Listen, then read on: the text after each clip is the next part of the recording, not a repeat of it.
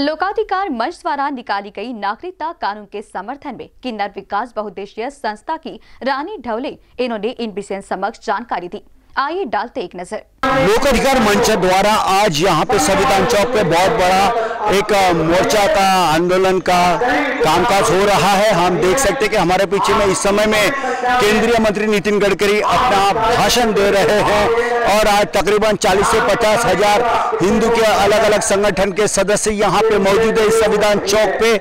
और आज का जो आंदोलन है, आज की जो ये सभा है उसको समर्थन देने के लिए शहर के कुछ ऐसी भी संस्था है जो आज यहाँ पे आई हुई है। हम सीधा रुक करना चाहेंगे। इस समय में हमारे साथ में किन्नर विकास बहुउद्देश्य संस्था के अध्यक्ष रानी ढवे हमारे साथ में उनसे जाना चाहेंगे। रानी, ये बताइए कि क्या कहना चाहेंगे इस विशाल रैली को लेकर? नमस्कार, मैं किन्नर विकास बहुउद्देश्य संस्था के अध्यक्ष हूँ। मैं रानी ढवड़े। हमारा आज जो ये नागपुर में बाईस बारह दो हज़ार उन्नीस को जो एसएससी जो चालू है आंदोलन, इसके लिए हमारा फुल समर्थन है।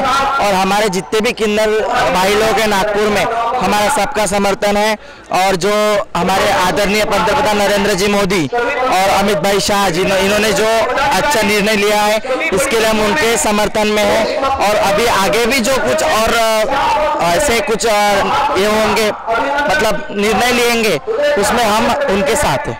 तो आरती रानी ढवले जिन्होंने ऐसा बताया है कि हमारा पूरी तरह से आ, इन सभाओं को ऐसे आंदोलन को जिस तरह से ही लोकाधिकार मूल द्वारा जो बातें की जा रही है आ, उसको हमारा पूरी तरह से समर्थन है ऐसा इनका मानना है।